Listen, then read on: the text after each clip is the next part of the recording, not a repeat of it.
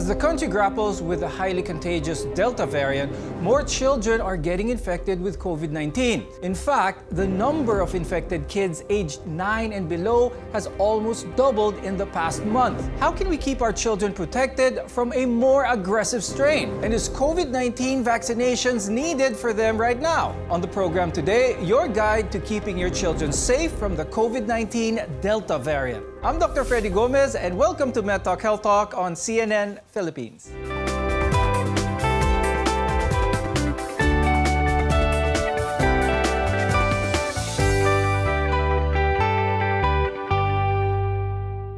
For most of the pandemic, children were at low risk of catching COVID 19, but now they're more vulnerable, especially to the Delta variant, leaving many parents wondering how best is it to keep them safe. Our guests are here today to tell us what we need to know. With us is Dr. Annelyn Reyes. She's a pediatric infectious disease specialist and assistant professor from the UST Faculty of Medicine and Surgery. Also with us is Dr. Anjanette De Leon. She's a department manager of the Pediatric Pulmonary and Critical Care Medicine of the Lung Center of the Philippines. Now, we understand that the increase in COVID 19 cases among children can be very alarming for parents. I'll start first with Dr. Anjanette. I'd like for you to share with our viewers how the new strain, the Delta variant, is impacting children. You know what? It's just like any other virus. And right now, wherein there's an increasing number of patients or cases of pediatric COVID cases in the country. Hindi siya gaya ng dati na pa isa-isa meron kaming kaso ng COVID, but more or less ngayon sa isang araw meron tayong nakukuha.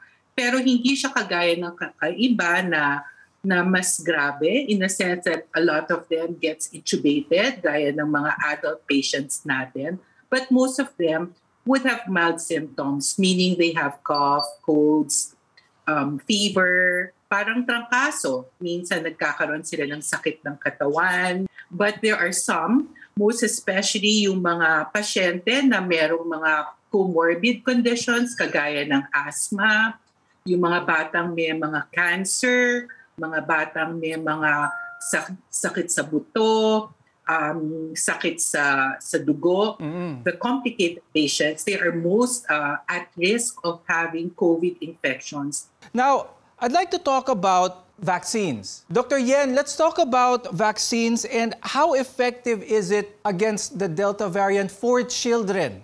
So data have shown that the, all the vaccines that are approved by the Philippine FDA and those who are approved by the emergency use authorization are still effective with the Delta variant.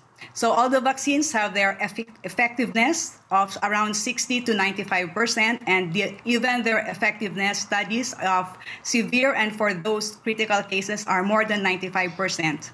So it was noted also in some data that the more the country are vaccinated, the lesser are the incidence of Delta variants. Pag-usapan naman natin yung mga breakthrough infections. How does how does this COVID-19 vaccine actually protect you and bakit pa bakit nagkakaroon pa rin ng mga breakthrough infections yung mga fully protected ng ng COVID vaccine? In our hospital, we also check the number of patients who are vaccinated. And whenever the patient is uh, admitted due to COVID, we have to recheck if the patient is vaccinated or not. So, in most of our patients, those who went into critical and severe stages, they are not vaccinated. But uh, some patients who, are who are in the asymptomatic and mild cases, they are vaccinated. We want to emphasize that the COVID 19 vaccine is our best protection against the Delta variant. But while our children remain unvaccinated, there are steps that we can take to minimize the risk of bringing home the virus to them. Dr. Anjanette, worth reminding everyone how we can stay healthy during this very uncertain time. The best thing that we can do is to, to keep ourselves informed. We have to be made aware of what the illness is all about.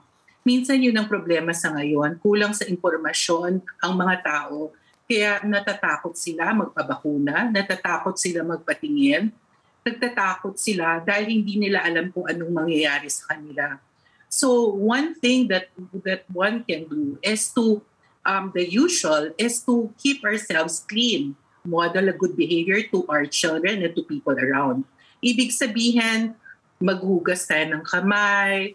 That's the, di ba, we wash our hands for at least 20 seconds.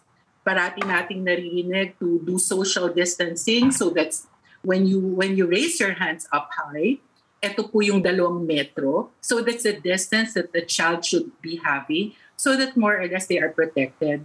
And then it's very important also that they should um, model good behavior. Ibig sabihin, pagpasok sa bahay, bago Mm-mm. halikan, yakapin ang ating mga anak, maliligo muna ang isang tao para at least kahit paano kung merong mikrobyo na nasa ating katawan, we are assured that that this is um, removed from us when we take a bath.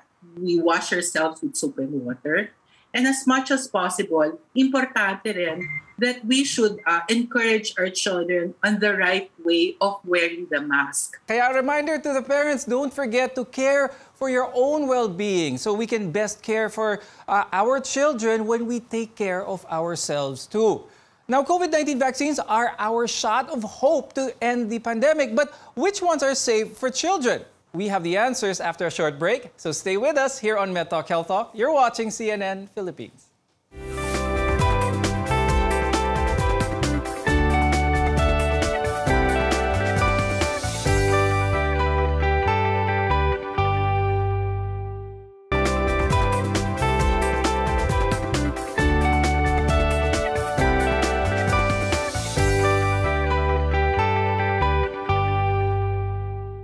The country continues to see a rise in COVID 19 cases, even among children. Today, we want to provide honest and clear information on how the new, more aggressive Delta variant can impact them. I'm Dr. Freddy Gomez, and welcome back to MedTalk Health Talk, your partner in healthcare. Now, while more Filipino children are getting infected with COVID 19, these children typically display mild uh, to no symptoms at all. Dr. Anjanette, walk us through some of the warning signs ng COVID-19 in children. The, the child would usually have fever, cough, colds, parang trangkaso. Sumasakit yung katawan, minsan sumasakit yung tiyan, and then some of them would present as rashes. So it's it's the usual uh, flu-like symptoms that we see left and right. The- but it's important, eh, what is important is we check uh, the exposure. Ibig sabihin, baka na-expose to sa isang taong may COVID or somebody else who is sick. So this is the turning point for us to see and check if this is really COVID that the child has. There are reports that the Delta variant presents a little bit different for children as well as adolescents. Dr. Yen, can we discuss this a bit? Uh, merong bang mga bukod-tanging simptomas uh, na pinapakita mga bata kapag infected with COVID-19, especially the Delta variant? Since December 2019, the COVID virus evolved rapidly and they change as they spread, multiply, and they mutate. So we already have a lot of variants in the Philippines. We have this alpha variant, the beta variant, the gamma, the delta, then the PH3 variants. So they said that the studies have shown that the delta is more transmissible and more contagious. And there are also a lot of studies that that were presented wherein the Delta variant uh, uh, presents more with colds and headache. However, in the Philippines, in most of our children, the presenting manifestations still manifest with fever, colds, and cough. How often does COVID-19 infection lead to severe illness in children? Yeah, it's really true. Especially now, we already have a lot of COVID cases in children. So before, we only have around, in my personal case, I only have around one to two cases per month, but now I have four to five cases per day. Some are in home care and some are hospitalized. So those children which are hospitalized and who goes to severe and critical cases are those who are asthmatic. So patients who are asthmatic, it's very hard for them to, if they really have the COVID, they go to cytokine storm. So my patients also with cerebral palsy, those who had, who had leukemia, they also went to severe cases. So all those children with comorbidities, with asthma, leukemia, kidney diseases, those with uh, other immunocompromised conditions, they, they usually go to severe cases. Is being vaccinated, uh, fully vaccinated, a big help in trying to, in protecting their children?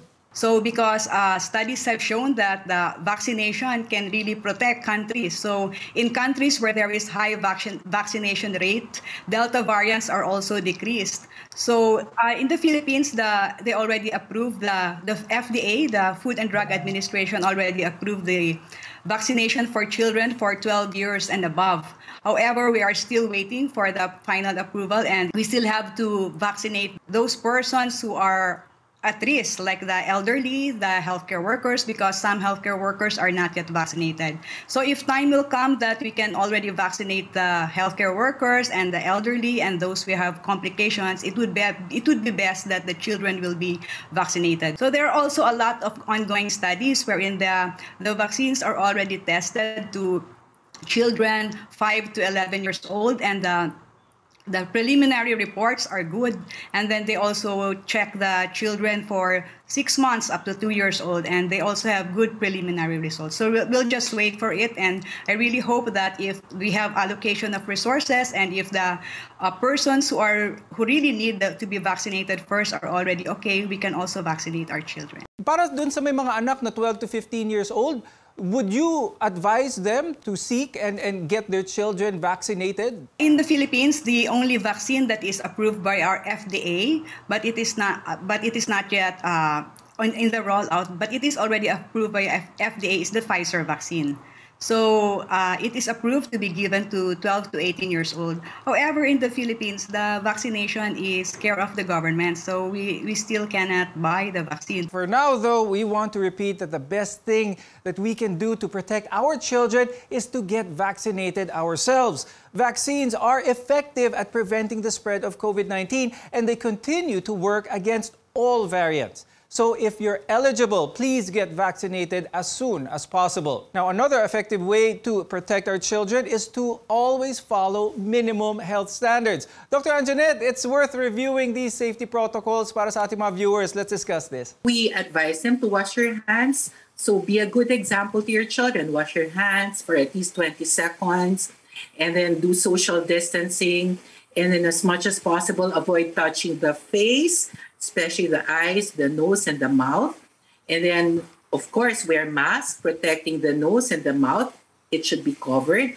And keep your house clean. Importante yung mga disinfectants around, um, cleaning it with soap and water, uh, the, the surfaces, because these are areas that could uh, wherein the virus can linger. Dr. Anjanette, pag-usapan naman natin ang flu vaccine. Uh, do you recommend this be given to children? What, what's your advice to the parents? For me, it's very important that we give flu vaccine. Right now, it's the flu season. Most especially, it's it's raining right now, so we get cases left and right having uh, flu-like illnesses, which is almost like COVID, right? Iba ang COVID, ang initial presentation is cough, colds, and fever. Same thing with flu.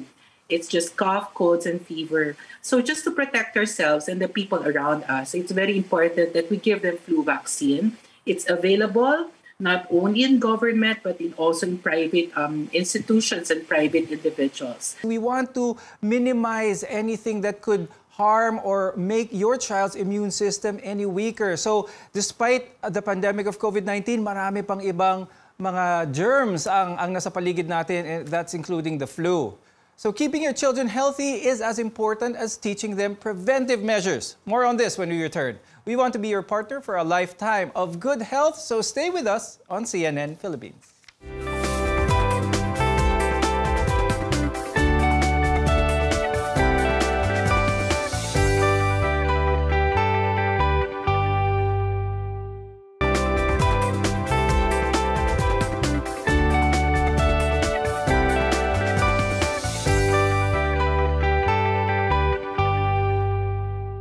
The COVID 19 pandemic has brought a whole new set of challenges for parents, including teaching children to follow health protocols. We've rounded up a list of the safety guidelines for children and how best to explain them to your family. I'm Dr. Freddy Gomez, and this is MedTalk Health Talk, where your health always comes first. Wearing a mask is key in reducing the risk of infection. Here at home, face masks need to be worn by children two years and older. But we all know how uncomfortable these face masks can be. Imagine what it's like for your younger children. Dr. Yen, do you have any tips uh, to successfully introduce face masks to children? Even in my in my clinic, so the children really don't like to wear masks. So I make it a point that the the mother should uh, wear their mask first so that the children can follow. So as mentioned, the mask should cover the nose and the mouth. So at times I give the children mask who has cartoon characters and colors and, and they were happy wearing it. So it's also nice that you will buy the masks which are with uh, cartoon characters and with, with with colors so that the children will be happy to wear it and then when you when you show to them that you are wearing mask and the mother is wearing mask they will also follow you. Another good tip to follow is having a good relationship with your doctor with your pediatrician which is more important uh, now more than ever. Dr anjanette uh, uh, telehealth is available nowadays because of the current situation but why is there some hesitation from uh, a lot of people to actually connect with their pediatricians through telehealth some of the patients or some of the parents doesn't have access to internet. So an option that we can give them is to use the telephone, telephone just to call them, or maybe go to the nearest health centers or near, nearest private um, uh, physician or hospitals wherein they can do access or get access to health care. Another thing is if we have internet, there are different um, platforms, medical platforms that the doctors can use and the, the doctors use nowadays to access their, their patients. Apart from wearing masks, we also need to teach children positive preventive measures against COVID 19, like social distancing and, of course, always washing their hands. Dr. Anjanette, let's discuss the best way to go about this. You know what? I, have I've uh, met this acronym WHEN, W H E N it's an easy thing to remember. So W stands for washing hands, would equal that of um, health, wearing mask, do social distancing. E is educating ourselves, educating our, our, our the people around us of what to do in times of crisis, in times of infection. And N is for nutrition. Um, giving our children the uh, the right nutrition, the right food, so that they will not be able to contract the disease. So that's when. Now, Dr. Yan, what's your advice to parents who would like to have their, their regular schedule of vaccines for their child uh, accomplished? First, I do telemedicine with them. They will message me, and then I will check first the kids if they have cough, fever, and colds, and then I will give them the schedule time. Like for example, I'll I'll tell them that you'll come at around 10 a.m. So the next child will be at around 10:30. So I make sure that the kids are properly spaced also uh, the the child who is scheduled for 10 o'clock will will will will be vaccinated at 10 o'clock, and then by 10:30 another child will come. So I also space my children every 30 minutes. That's why in all of my patients they still go, go for me for vaccination. But ultimately, we need to talk to our children about COVID-19. They too are experiencing a big change uh, because of this pandemic, and as much as possible, we need to help them feel safe as well as protected. Dr. Yan, can you share with us some tips on how, uh, how parents can help their children cope with this Delta variant? Because the children are really so afraid with the pandemic. And the, re- the best thing that we really have to do as parents and as doctors is to really educate them. We really have to tell them that you know there is really a pandemic. So we can break it to them gently. We have to tell them properly that there is a pandemic but there is uh, you can see you might hear that uh, a lot of persons are dying and there there might be death among their loved ones. But we can always tell them the good side of things. We can tell them that we can prevent it by, by wearing the mask properly. And you also have to wear a face shield, especially if you are two years old and above.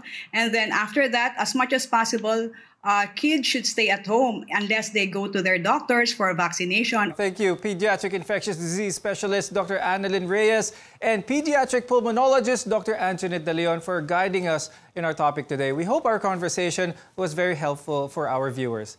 Let's all work together to keep our children safe and protected from the COVID 19 pandemic. I'm Dr. Freddy Gomez, and we'll see you again next time. Stay safe, everyone.